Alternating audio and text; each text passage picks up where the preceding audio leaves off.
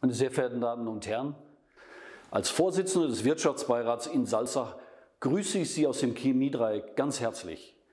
Die chemische Industrie, für die ich als Werkleiter des größten Chemiestandorts in Bayern stehe, war und ist durch die Pandemie in Deutschland vor besondere Herausforderungen gestellt.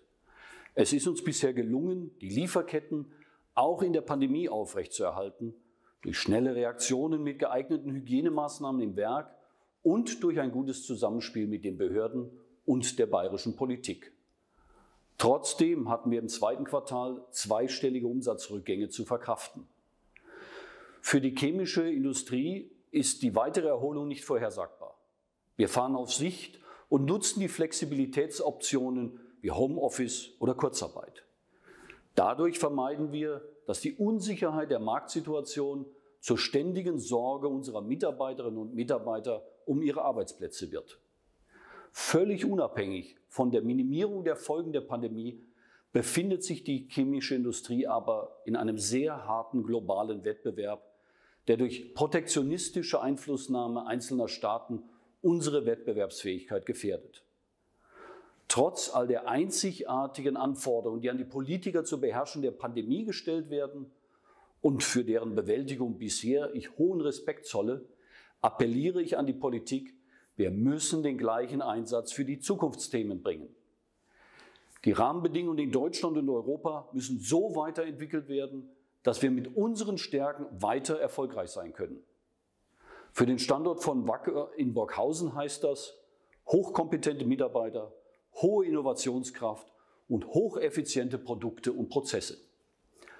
Die chemische Industrie hat einen hohen Energiebedarf, mit dem wir bei Wacker zum Beispiel mit Polysilizium für Solaranlagen oder speziellen Silikonen für die Wärmeableitung von Batterien wesentliche Beiträge für die Bewältigung der Folgen des Klimawandels leisten.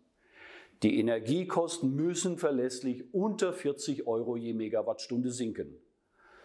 Die Transformation der Industrie in Richtung CO2-Neutralität erfordert enorme Investitionen seitens der Industrie, die nur mit massiver Unterstützung durch die Politik gelingen kann.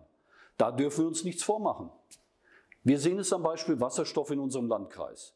Selbst mit Fördermitteln für die vielen innovativen Ideen zur CO2-Reduzierung ist ein Business Case, der sich auch rechnet, schwierig darzustellen. Notwendig ist es auch, bürokratische Hemmnisse wirksam abzubauen, Planungsverfahren zu straffen sowie neue einseitige Belastungen zu vermeiden.